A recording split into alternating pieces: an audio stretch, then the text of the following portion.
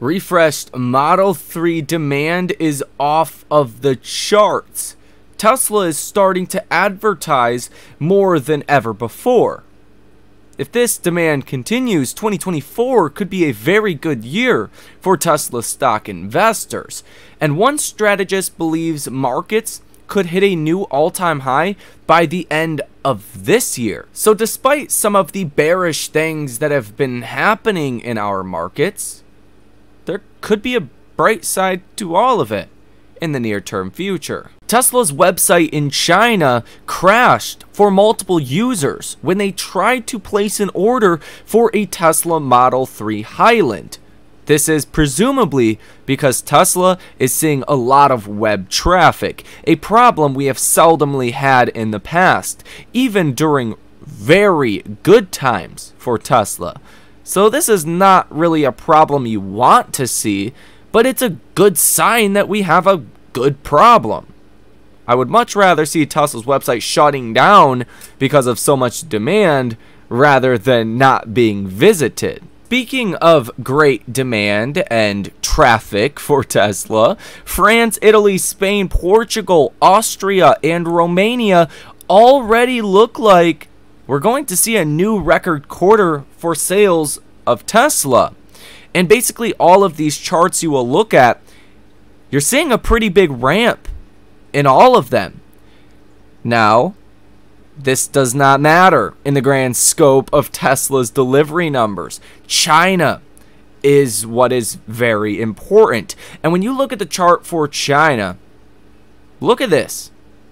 So you just have to see a good third month of Q3, and you're going to be at least matching, if not slightly exceeding, Tesla's largest delivery number in a quarter ever for China. We know China is roughly 35 to 40% of Tesla's deliveries every quarter. So just being at 88,000 vehicles delivered during the second month of Q3 is a very good sign that we're at least going to see good numbers. Wall Street is not expecting good numbers. You can see that by Tesla's stock following last earnings. Tesla's share price is still down 18% from back here on July 19th. Yet we're getting so much good news. This ultimately is to your benefit. As Wall Street is delusional, you can profit from it. To exactly that point, take a look at what the analysts have rated Tesla over the last couple of months. Three months ago, the consensus for Tesla was a moderate buy at 3.72 out of 5. 5 would be a strong buy. Two months ago, you were at 3.46. One month ago, you were at 3.35. And today, you're at 3.35. Three months ago, on the ratings, well, you had 10 strong buys. And now you have 7 strong buys. You had two moderate buys, and today you have one moderate buy. You had 11 holds, now you have 16 holds. Three months ago, you had two strong sells, and today you have three strong sales. Sells. This is not a stock that's priced for good things. I have said this before and I will say it again. Tesla is very much already priced for a recession in terms of Wall Street's estimates. Wall Street is expecting 27% delivery growth next year in a year in which the refreshed Model 3 hopefully comes online in big numbers in the US, China, and in Europe, as well as the Cybertruck, two essentially new vehicles being launched, and you're expecting 27% delivery growth. That has to be factoring in or pricing in a recession, right? We've never seen 27% delivery growth in Tesla's publicly traded history dating back to 2010. During 2010, Tesla had 600% delivery growth. These numbers make no sense. But again, that is to your benefit. When Wall Street is delusional, you profit.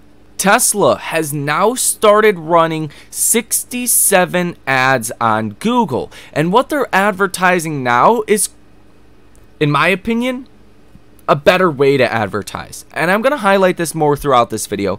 But the things that Tesla is saying makes a lot more sense to me.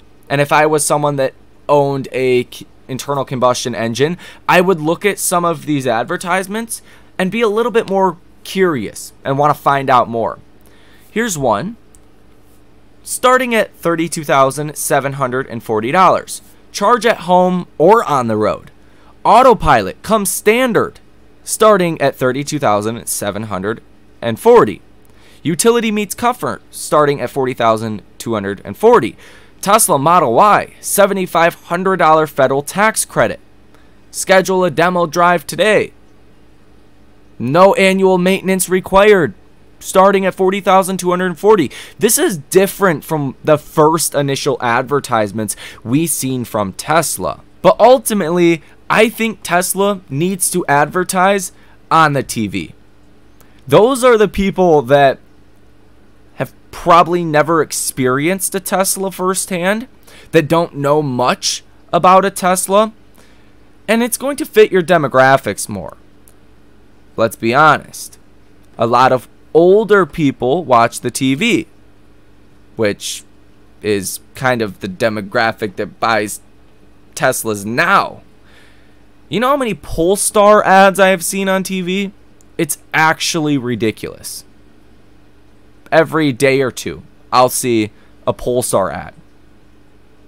I think that's a good way for Tesla to advertise. Eventually, that will come. And I think that's where advertisement really gets its best ROI with Tesla. Tesla's Google Trend data for the Model 3 also remains strong, but I want to highlight what I just said. A lot of the search demand is coming from California. Look at my state of Michigan. You're 24 out of 100. Look at Ohio at 21. Indiana at 18, Kentucky at 19, Tennessee at 21. There's just not enough people that are familiar with Tesla. And I think that is a solvable problem. It's not a problem that is unsolvable. It will happen. Just how much time does it take? And does Tesla advertise to the right demographic of individuals to speed that process up? Over the past 12 months, Tesla in Google Trends has also remained a pretty hot topic. Back here in 2022, Google Trends data was in the high 60s to low 60s for a majority of 2022, and basically all of 2023, you have been in the 70s, 80s, or 90s. Currently, you're at 77. So a little bit more interest than what we've seen in 2022. Tesla Australia cancels orders for the Model 3 Performance on the launch of Highland. This is from Drive Tesla in Canada. Tesla finally launched the Project Highland Model 3 this week, but conspicuously absent from the release was the performance model. Tesla did not explain why only the rear wheel drive and long range variants were launched but Model 3 Performance reservation holders in Australia are waiting for clarity as the EV maker has cancelled its existing orders for the top of the line model. It is estimated that the Model 3's refreshed performance version will be coming to markets within the next month or two, so we will see what happens. Tesla has also added a new safety feature to the refreshed Model 3 it now has an extra latch at the bottom of the door to improve occupant safety in the event of side impact. And Alex on Twitter says safety is always paramount at Tesla. Now, I really like this post from James Cat on Twitter. He says, despite the aggressive price cuts in 2023 and three ramping factories, Texas, Berlin, and Lathrop, Tesla is still incredibly growing revenues faster than they are growing operating expenses. This is very strong cost management on display. The table and chart contain the same info presented two ways. So when you look at this chart, you're looking at revenues right here at this top line. And in 2017, Tesla had revenues of almost 12 billion. While SG&A expenses were almost two and a half billion. This was over 30%, almost 32% of Tesla's total revenue.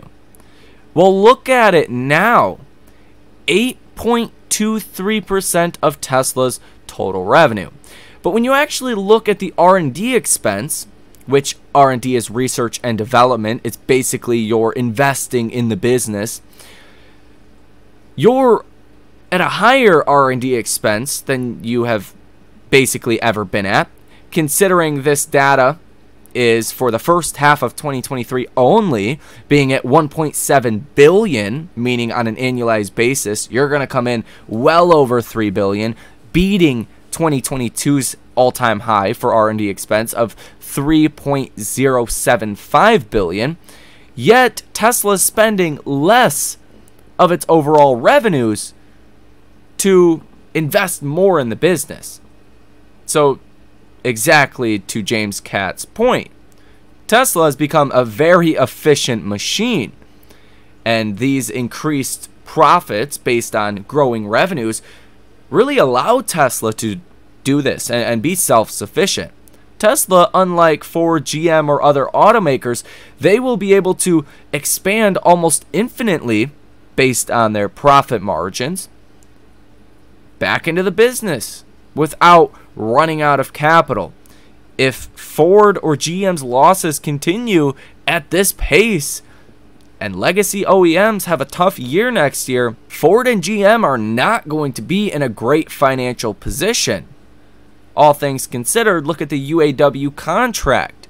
That's also not great. It makes it even harder to compete with Tesla. If you're confused what SG&A actually stands for, stands for Selling General and Administrative Expenses. These would include salaries, wages, benefits for executives and staff not directly involved in manufacturing or other production tasks, rent, utilities, insurance payments, marketing, advertising, and promotion expenses, accounting costs, legal costs, office supplies, things of that nature. So you want to see these numbers as low as possible, and Tesla is succeeding at just that. BMW has just launched the new class.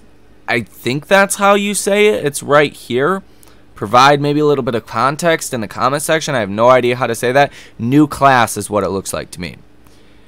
But this is your Tesla copycat 101 it looks just like a Tesla with a sideways steering wheel to me. Even down to the in-dash tablet, the structure of the seats, the structure of the center console. Complete Tesla copycat. Look at the glass roof. Like, it really doesn't get more similar to a Tesla than this. This is going to launch by the end of 2025 supposedly. And you already know what Wall Street is going to say. This is another Tesla killer. We've seen these things come and go. New cars are said to launch, they get delayed, and demand never materializes. I have said it for a very long time. Tesla is a brand. I strongly believe, and one of the top reasons why I invest in Tesla personally, it's not because the Model Y is the most successful vehicle that we have seen in recent times. It's not because the Cybertruck is launching. It's not even because of FSD. I like to invest in brands. Tesla could sell phones, they could sell clothes, they could sell whatever the hell they wanted. And Tesla as a brand will be successful. Kind of like an Apple. Apple can sell whatever they want and people will buy it because they love the Apple brand.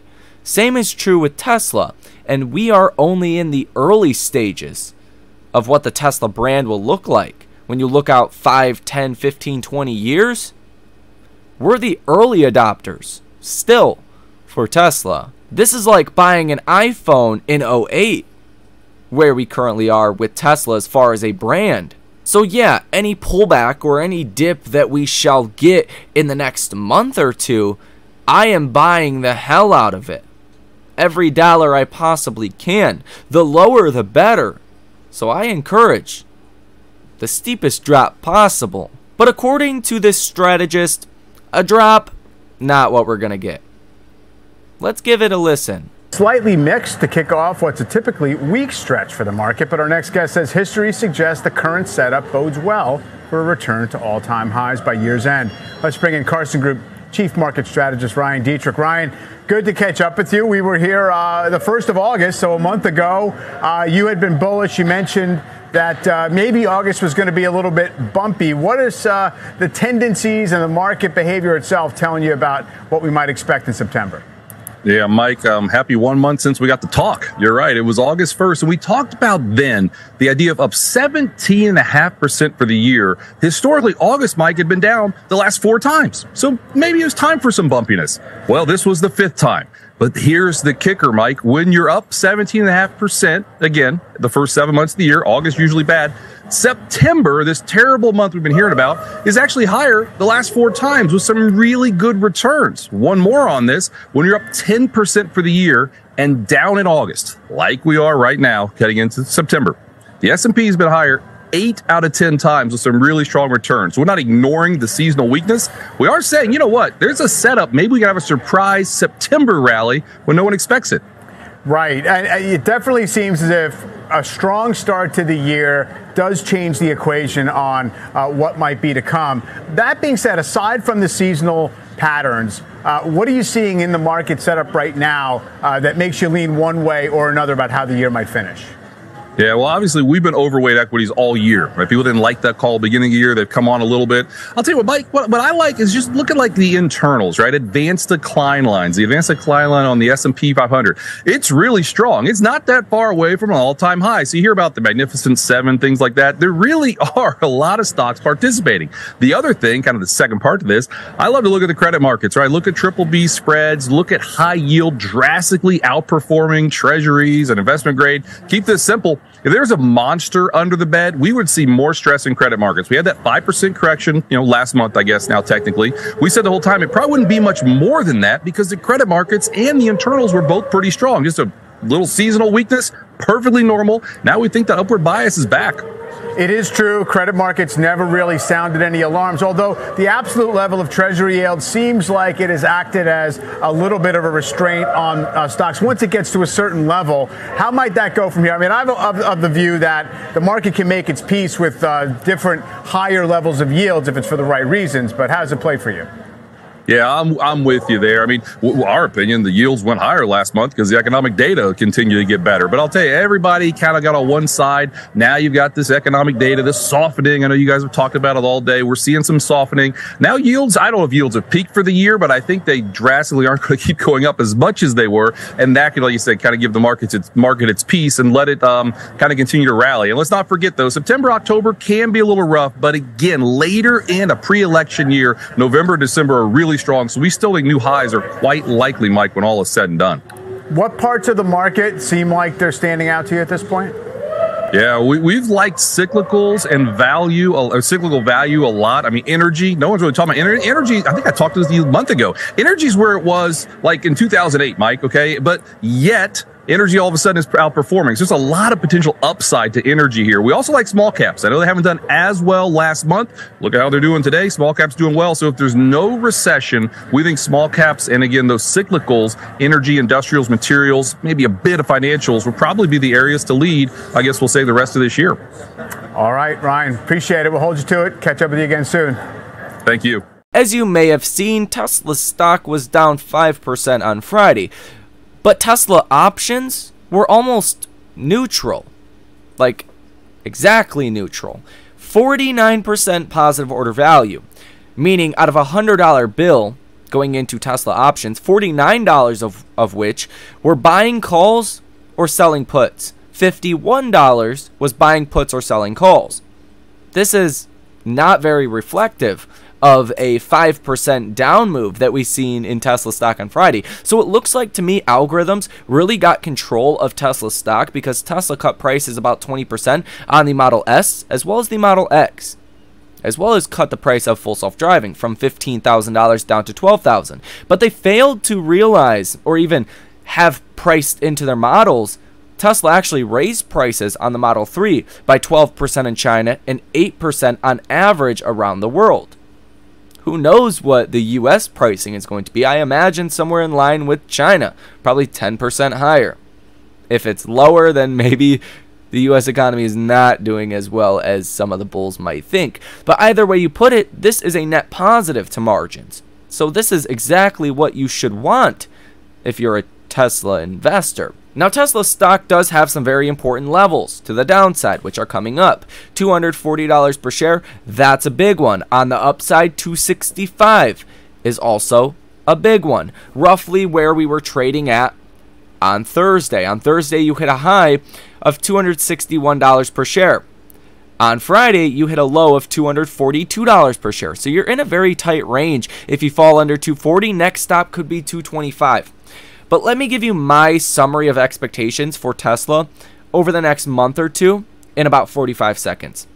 Long story short, I could make a whole video on this, but long story short, Tesla stock is going to do what the markets do, but it's going to do it to a more extreme degree. If the markets have another seasonally weak September, well, Tesla's also going to have a weak September and likely weaker than the broader markets. To the contrary, if the markets rally, Tesla stock's going to rally more than the markets. And odds are at some point the markets realize that this was actually great news and actually buy the stock and likely fill this little 5% gap that we ultimately seen. Now, if things get really bad in the economy and data just continues to, to support a slowdown, that's not going to be great. And if Tesla stock does fall, I want to be a, a buyer of any weakness in Tesla. So once we get closer to the Cybertruck actually being delivered to customers, that's the point in which you really don't even need to hedge out your portfolios in Tesla. Obviously, that's not financial advice. Every situation is going to be different. Don't listen to what I say. But at that point, I expect a lot more bullishness for Tesla stock. Tesla is jumping into a new category they have not been in the best selling vehicles in the US last year. The top four were all trucks. Tesla's jumping into that head first. Well, probably going to be a good payoff for Tesla. And you're probably going to get a lot of demand. There's probably going to be that halo effect on Tesla's franchise. So estimates are far too low heading into 2024, in my opinion, to even hedge out your Tesla position. Odds are Tesla is going to be well above 27% delivery growth and well above 29% EPS growth. Now, if you guys want to come hedge out your portfolios, at least in the near term or any time that is fit to do so, if you guys would like to come trade with me as well as other traders live in real time, I do post my trades. A lot of people post theirs as well. Link down below in the description of this video. If you're listening to my voice, hit the like button and subscribe to the channel. Most importantly, my name is Michael Tyler. Enjoy the rest of your weekend, and I will see you in the next one.